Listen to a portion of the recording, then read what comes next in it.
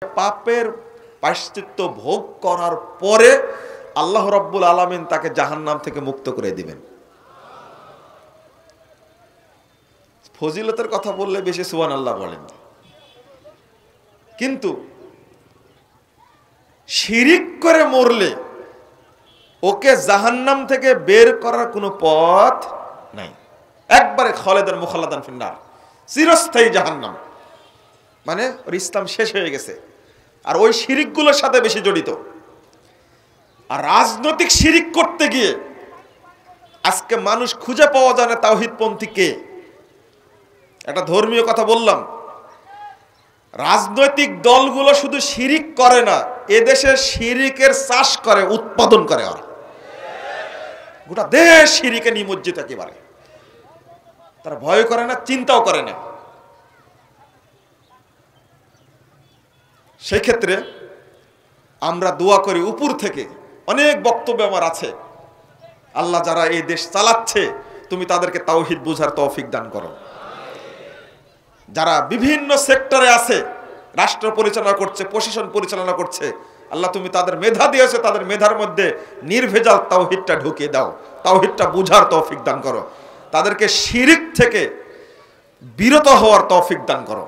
আল্লাহ তুমি তাদেরকে হেদায়েত দান করো। মুসলিম ব্যক্তি ইসলাম পালন করে জান্নাতে যাবে, এটাই দাবি হওয়া উচিত। কিন্তু মুসলিম হয়ে জন্মগ্রহণ করে শিরিকের সাথে জড়িত হয়ে চিরস্থায়ী জাহান নামে যাবে, এটা আমরা চাই না।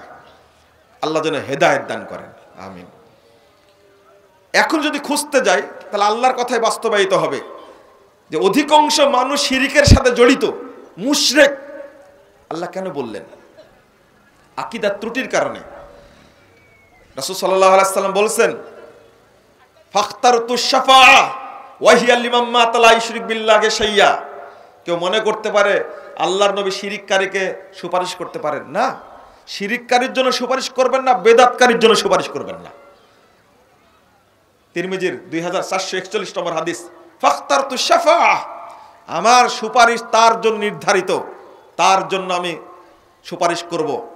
ওয়াহিয়ালিমাম্মা তালা ইশরিক বিল্লাহ যে ব্যক্তি শিরিক না করে মারা গেছে, আমি তার জন্য সুপারিশ করব। তাহলে যারা শিরিক না করবে, তাদের জন্য শিরিক করবে না।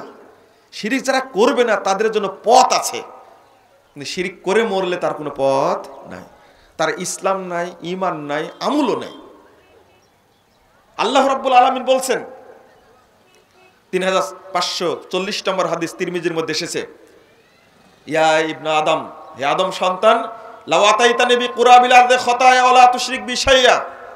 তুমি যদি আমার কাছে উপস্থিত হও, জমিন ভর্তি পাপ নিয়ে, কিন্তু ওই পাপের মধ্যে কোনো শিরিকের পাপ নাই, লা আতাই তো কাবে কিউরাবিহা মাগ ফেরাতান আমি আল্লাহ তোমার কাছে হাজির হব, এতটুকু সমপ্রমাণ ক্ষমা নি অর্থাৎ সব পাপ আল্লাহ ক্ষমা করবেন, শিরিকের পাপ ক্ষমা করবেন না। কঠিন জিনিস। এই জন্য ইমানই নাই। তো এবাদত করে লাভটা কি? ও সালাদ পড়ে কি হবে? মুনাফেক কেন বললাম? মসজিদে দান করে, মাজারেও দান করে। এ মুনাফেক না? মুখে লাইলাহিল্লাহ বলে, কিন্তু লাইলাহিল্লার দাবি একটাও বাস্তবায়ন করে না। কত সুন্দর ফজিলত। লাইলাহিল্লাহ রাসুল সাল্লাহ আলাইসাল্লাম বলছেন বাশির হে আবু হুরারা তুমি সুসংবাদ দাও। মান কলা ইল্লাল্লাহ, মুস্তাইকিনান বিহা কলবু। অন্তরে দৃঢ়তা নিয়ে কেউ যদি লা ইলাহা ইল্লাল্লাহ বলে, ওই ব্যক্তি জান্নাতে প্রবেশ করবে। বাশের হবিল জান্নাত তার জন্য জান্নাতে সুসংবাদ দান করো। কিন্তু লা ইলাহা দাবি একটাও বাস্তবায়ন করে না, শুধু মুখে বলে লা ইলাহা ইল্লাল্লাহ। আর একটা ঘটনা ইতিমধ্যে ঘটে ঘটানো হয়েছে। আগে হতো, এই মাজারে বসে কলকে টানতো, হোঁকা খাইতো, গাঁজা খেত, বিড়ি, মদ খেয়ে পড়ে থাকতো, আর ইল্লাল্লাহ ইল্লাল্লাহ জিকির করত। এই জিকির এখন চলে আসছে সাধারণ মঞ্চে। সাধারণ মঞ্চে এসে সাধারণ মানুষগুলোকেও এই জিকিরের অন্তর্ভুক্ত করে এদেরকেও শেষ করে দিয়েছে। সুন্দর কণ্ঠে একটা গান বাজায়। হাসবি রব্বি জাল্লাল্লাহ। গানটা খুব ভাইরাল হয়েছে। যেখানে যায় সেখানে কি বেদাতি আর হেদাতি, সব মঞ্চে গান বাজে আর আলেমরা উপস্থিত থাক কিছু বলে না। লা ইলাহ অনুবাদ করতে গিয়ে লা ইলাহ ইল্লাল্লাহর অর্থকে শেষ করে দিয়েছে। বলছে, মাফি কলবি গৈরিল গৈরুল্লাহ লা মাউজুদা ইল্লাল্লাহ, লা মাকসুদা ইল্লাল্লাহ। কি বুঝলেন আপনারা? মাফি কলবি গৈরুল্লাহ আমার অন্তরে আল্লাহ ছাড়া কেউ নাই। এই অনুবাদগুলো করেছে হলো সুফিরা। লা মাউজুদা ইল্লাল্লাহ, আল্লাহ ছাড়া কেউ উপস্থিত নাই। লা মাকসুদা ইল্লাল্লাহ, যারা তাফসির করেছে, আল্লাহর আকার স্বীকার করেনি। আল্লাহর যে আকার আছে আল্লাহ যে নিরাকার নন। যাদের ধারণা আল্লাহ নিরাকার, তারা তাফসির করতে গিয়ে কসদুন শব্দ নিয়ে আসছে। ওরা যে না বুঝে বাক্যগুলো বানাইছে, এটা ঠিক না। ওরা বুঝেই বাক্যগুলো বানিয়েছে। লা মাউজুদা ইল্লাল্লাহ, ওয়াহদাতুল উজুদ। অর্থাৎ সবকিছুর মধ্যে আল্লাহর উপস্থিতি, নাউজুবিল্লাহ। এ আকিদা কি ঠিক? আল্লাহ বলছেন, আর রহমান আল্লাহ আরশিস্তাওয়া সূরা তাহা 5 নম্বর আয়াত। রহমান আল্লাহ আরশের উপরে সমন্বিত অনুবাদ আমরা করেছি, সমাসীন। সমাসীন অনুবাদও ভুল। ইস্তাওয়া অর্থ, ইমাম বুখারী রহিমাহুল্লাহ কতদিন আগে কেতাবুত তাফসির সহি বুখারি খুলেন? সূরা বাকারা, উনত্রিশ নম্বর আয়াতটা ইস্তাওয়া শব্দ আসছে। ওখানে ইমাম বুখার রহিমাহুল্লাহ মারা গেছেন দুইশো ছাপ্পান্ন হিজড়িতে। সেই সময় তিনি অর্থ করে গেছেন তাবি বিদ্যান, প্রখ্যাত বিদ্যান। মুজাহিদ থেকে অর্থ করেছেন, আই আলা ওয়ার্তাফা। অর্থাৎ তিনি সুউচ্চ হলেন, সমুন্নত হলেন। আমরা জালাসার অর্থ করেছি। তিনি সমসীন হলেন, বসলেন, নাউজুবিল্লাহ, এ অর্থ করা যাবে না। কিন্তু তাফসিরে জালালাইনের মধ্যে যেহেতু জালালাইনের আকিদা ছিল যে আল্লাহ নিরাকার, এই জন্য অনুবাদ করেছে কসাদা বিহি তিনি ইচ্ছা করলেন মানে এড়িয়ে গেলেন, আল্লাহর আকার আছে তিনি সাব্যস্ত করতে চাননি। এজন্য বলি, বাংলাদেশে তাফসিরে জালালাইন যে শিক্ষক পড়াতে জানে সেই শিক্ষক সবচেয়ে দক্ষ শিক্ষক। আমি বলি দক্ষতা আপনি অর্জন করেছেন, ভালো কথা। তাফসিরে জালালাইন, তাফসিরে কাশ্যাপ তাফসিরে বাইজাবি পড়াতে গেলে তাফসিরে কুরতুবি ফাতুল কাদির, তাফসিরে ইবনে কাসির পড়ায় তাফসিরে জালালাইন পড়াবেন আপনি। যদি না পড়ান, তাহলে আপনি আল্লাহর সেফাতের বারোটা বাজাবেন। ঠিক একই ধারায় তাফসির করেছেন মৌদুদি সাহেব তাফসিরে তাফিবুল কোরআনের মধ্যে। কোনো জায়গায় আল্লাহর আকারকে স্বীকার করতে চায়নি। আল্লাহর সেপতগুলোকে স্বীকার করতে চায়নি। হাতের অনুবাদ করতে শক্তি সত্তা। চোখের অনুবাদ করেছে দৃষ্টি। তাফসিরে মারেফুল কোরআন। সংক্ষেপে বলে দিলাম কথাগুলো। আল্লাহ রাব্বুল আলম বলেছে, আল্লাহ আরশের উপরে সমুন্নত। এখন সুফির একটা হাদিস তৈরি করেছে, কলবুল মুমিন আরশুল্লাহ। মমিনের হৃদয় হলো আল্লাহর আরস মাফি কলবি গৈরুল্লাহ আমার অন্তরে আল্লাহ ছাড়া কেউ নাই। আল্লাহ কোথায়? আরও সাজিমে। অথচ যেহেতু সব আর একটা হাদিস তৈরি করেছে সুফিরা, আল কলবু বাইতু রব। র মানে অন্তর হলো রবের ঘর।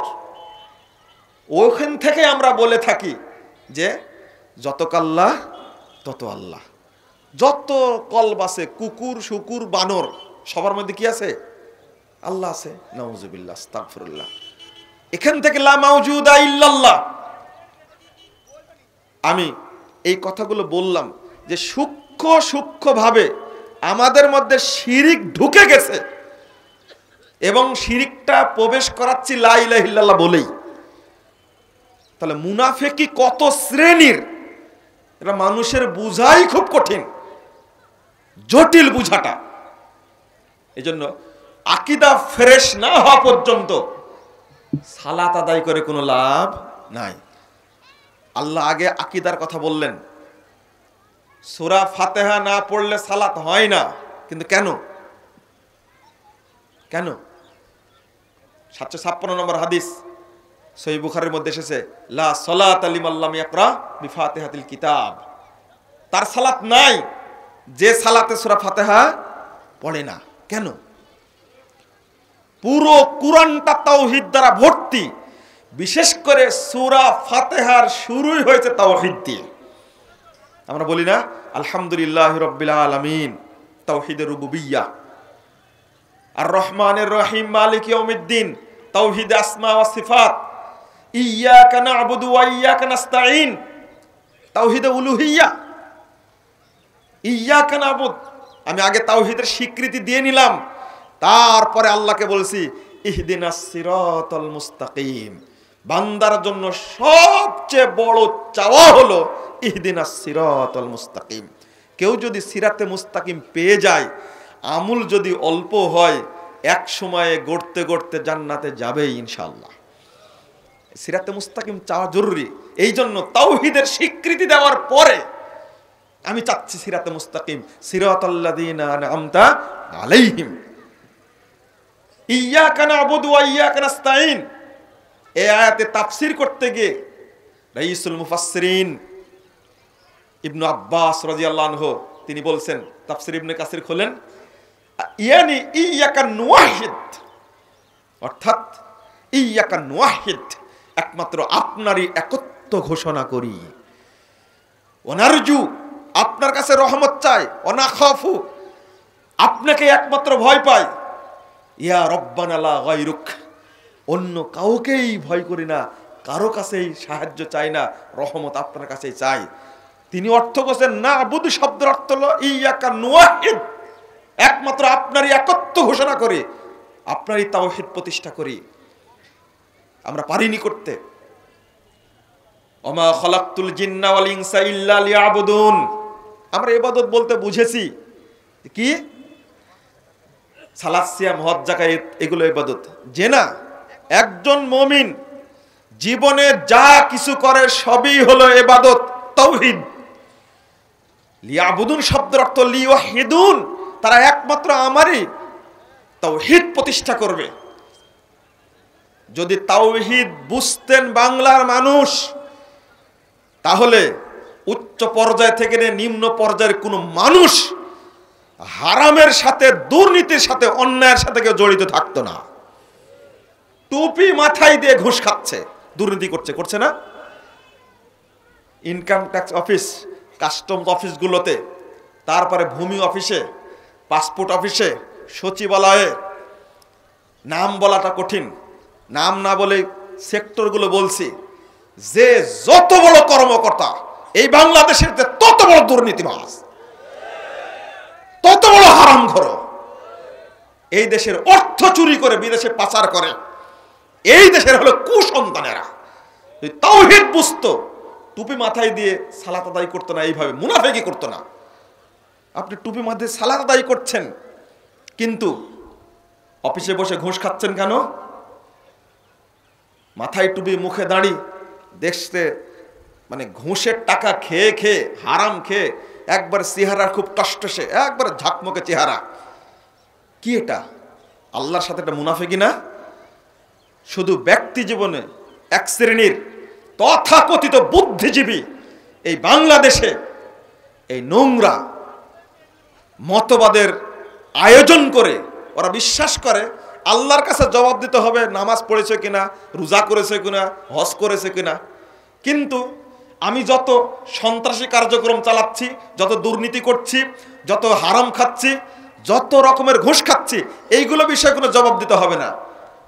তাদের একটা পাশ্চাত্যের ফতোয়া religion should not be allowed come into politics it is merely matter between man and God অর্থাৎ, রাজনীতি কখনো, ধর্ম কখনো, রাজনীতি, অর্থনীতি, সমাজনীতি, বৈষয়িক জীবনে ঢুকতে পারে না, অধিকার নেই।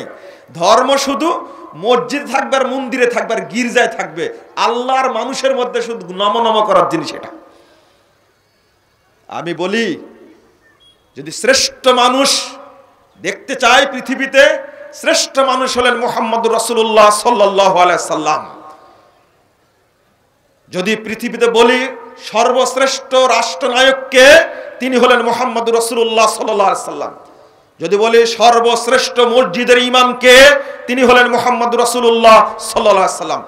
যদি বলি সর্বশ্রেষ্ঠ রাষ্ট্রবিজ্ঞানীকে তিনি হলেন মোহাম্মদ সাল্লাহ সাল্লাম। যদি বলি সর্বশ্রেষ্ঠ অর্থনীতিবিদকে, তিনি হলেন মোহাম্মদ রসুল্লাহ সাল্লাহ সাল্লাম। অর্থাৎ ধর্মের অবদান প্রত্যেকটি ক্ষেত্রেই রয়েছে, যেটা দেখিয়ে দিয়ে গেছেন পৃথিবীর শ্রেষ্ঠ মানুষ মোহাম্মদ সাল্লাহ সাল্লাম এবং চার খলিফা বাস্তব দেখিয়ে গেছেন। অতএব আমাকে ইসলামের স্বীকৃতিটা, তাওহিদের স্বীকৃতিটা মুসল্লি হিসাবে যেমন দিতে হবে, তেমনি ডাক্তার হিসাবেও দিতে হবে, তেমনি মাস্টার হিসাবেও দিতে হবে, তেমনি ইঞ্জিনিয়ার হিসাবে দিতে হবে, তেমনি